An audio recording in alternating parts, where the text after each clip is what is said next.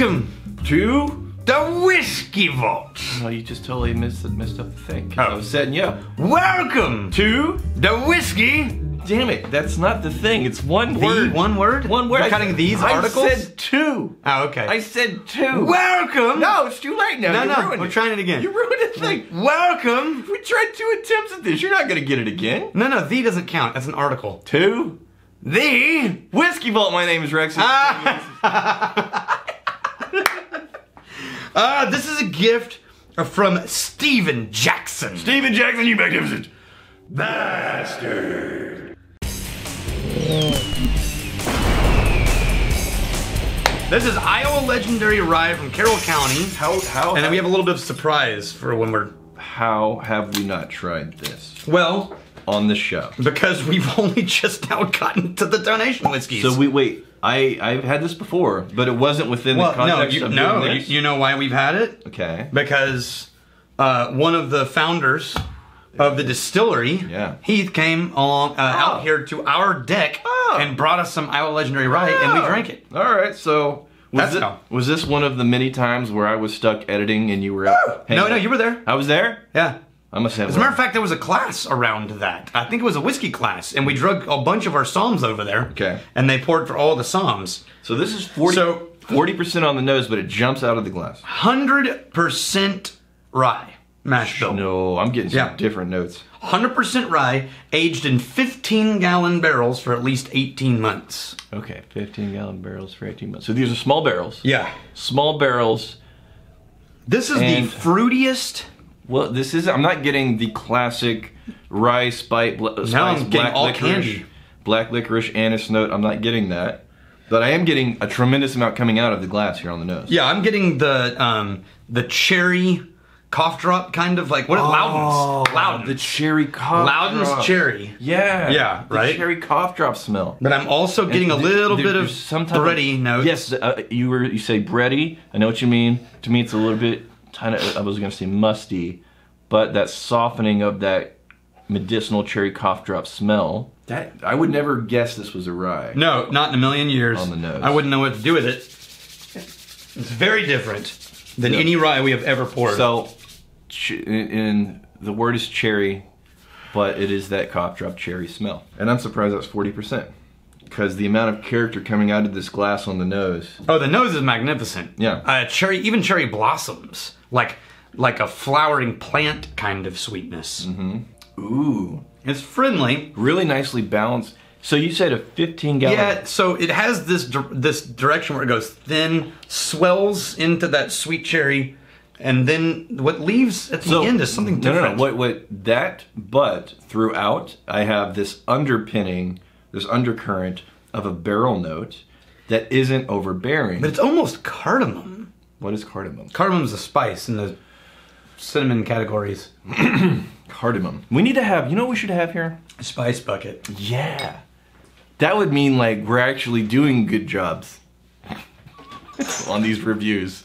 Somewhere in here. Are you pulling out a spice bucket? No, no, I'm pulling out our nosing kit. Which one of these is bourbon? Okay. And it's not gonna help for That's not gonna help with this. rye, This but it'll have some of the similar characteristics because there's new oak and things like that. So you were talking about small barrels. Oh no!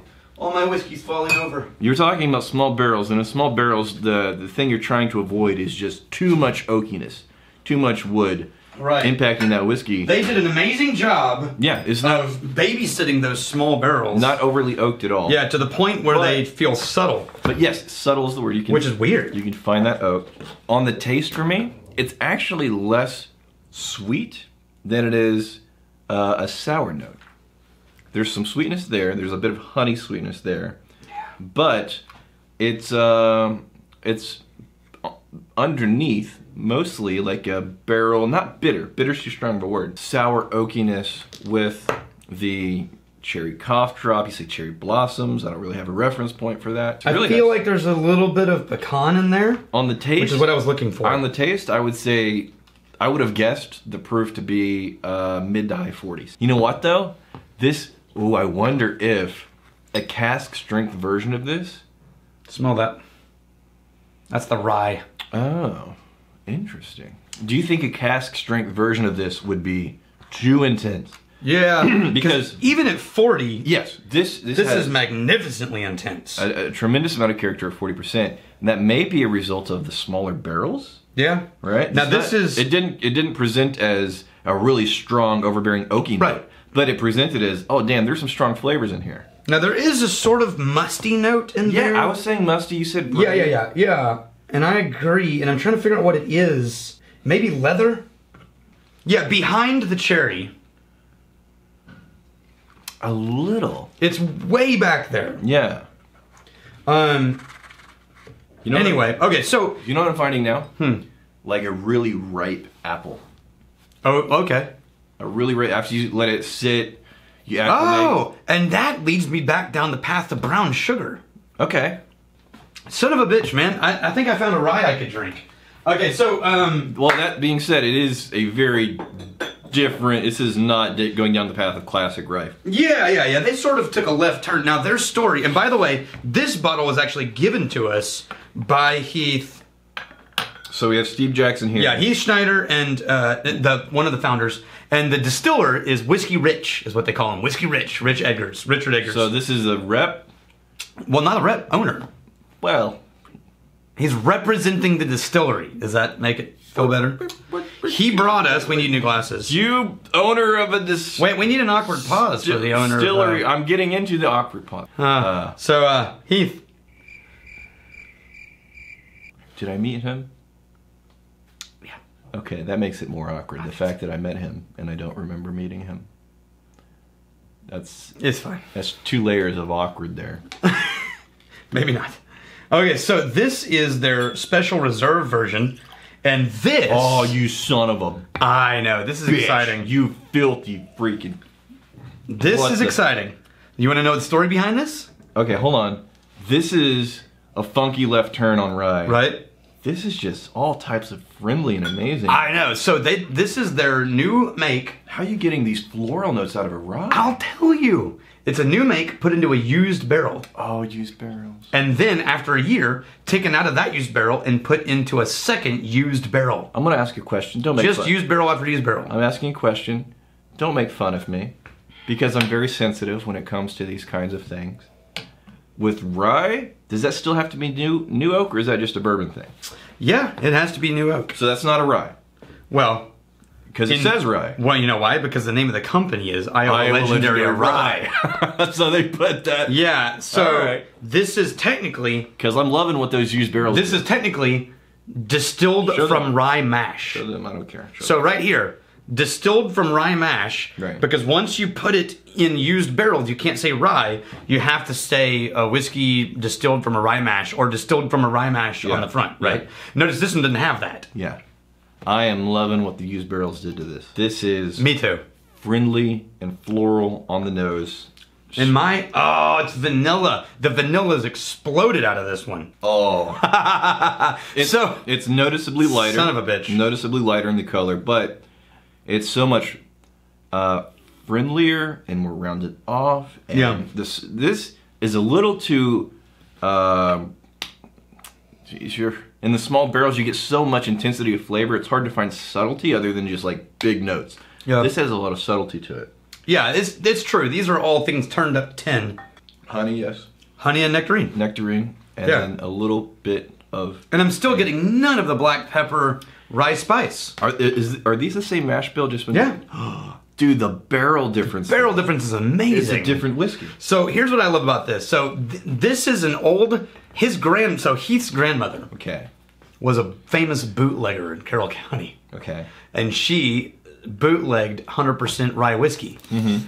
He went to the old folks' home and got the recipe from her, Oh. and that's what Whiskey Rich is making.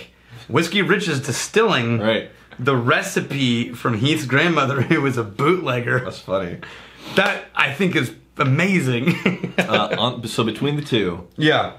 um, I like what's coming out of that used barrel. Just for just for like comfort and nuance and complexity.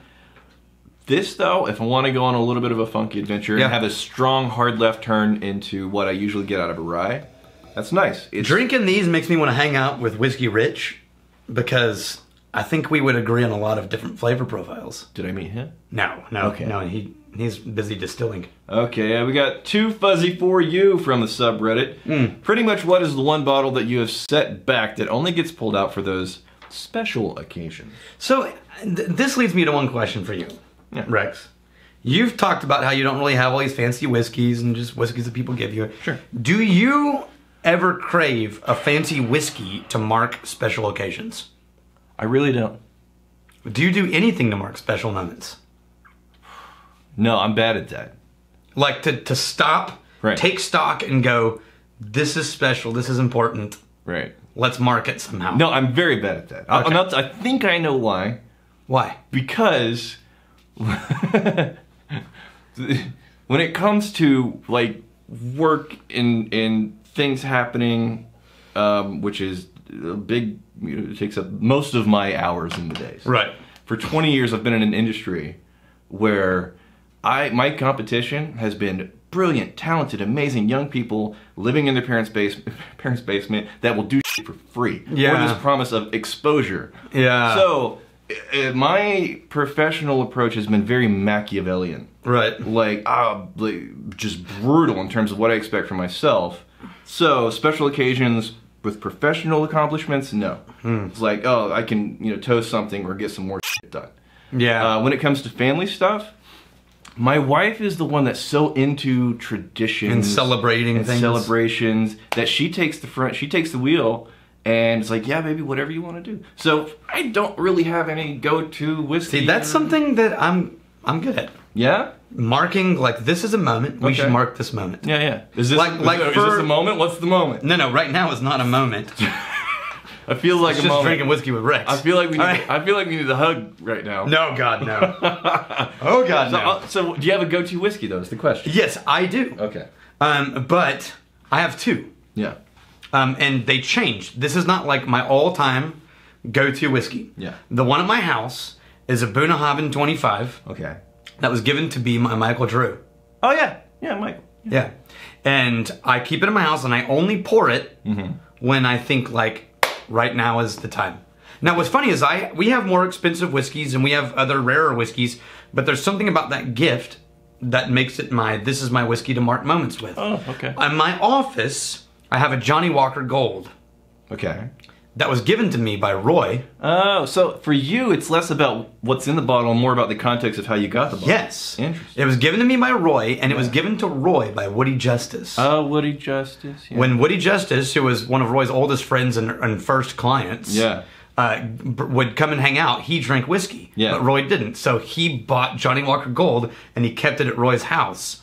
And when Woody died, and I started drinking whiskey here in my office, Right. Roy brought it one day and said, I don't know what to do with this, but you probably do. and here's the rule in my office you can only open that bottle and pour it if you're willing to talk about an old friend. Yeah, so that bottle of Johnnie Walker Gold in my office is from Woody Justice. yeah, he was a hell of a guy. Yeah. Hell of a guy. All right, one more here. We got significant proposal. proposal, because I just said the thing. Oh, well, that's almost a dad joke. You want you want a hug now? No. My birthday is coming up on Wednesday. What day is it? Is it Wednesday? Whenever this video airs, it might be past that. No, no, time. no. We're like we shot this on Today, Wednesday. we're We shooting this on Wednesday. Happy birthday! Yeah. Okay, and trying to decide whether or not decide on his birthday kung fu. I plan on getting a bottle of Lagavulin 16. So he likes peaty whiskey. Lag- Lagavulin 16, but not sure what else I might try to grab. I tried Talisker, Ardbeg, Laphroaig, all 10 year olds. My Ah. favorite of those was Ardbeg. He loved the sweetness and the fruit and the finish. Okay. Uh, but he loved them all. So should I grab a Peat Monster or maybe an Uigeadail? Uigeadail. Yeah, that's one of the special edition Ardbegs. Yeah. Um, man, you're right up my territory, and uh, you're not going to be able to get someone. If you can find a Kilchoman, branch out into Kilchoman. If not, I would say stick to Ardbeg. You obviously already like it, Right. and this is a celebration, not a discovery moment. So reward yourself with something you already know you love. So Uh, double down on Ardbeg. I want to know in the comments what are your go to special occasion whiskeys? Yeah, Here's- and and are they whiskeys that are special because the whiskey's special, or special because of how you got them? Fair enough. Here's to fighting, stealing, and drinking. If you fight may you fight for a friend. If you steal, may you steal a lover's heart. And if you drink, May you drink with us. Hey, thanks for hanging out with us in the Whiskey Vault. Don't forget to throw in a like, hit that subscribe button on the bottom right, and drop a question or comment down below.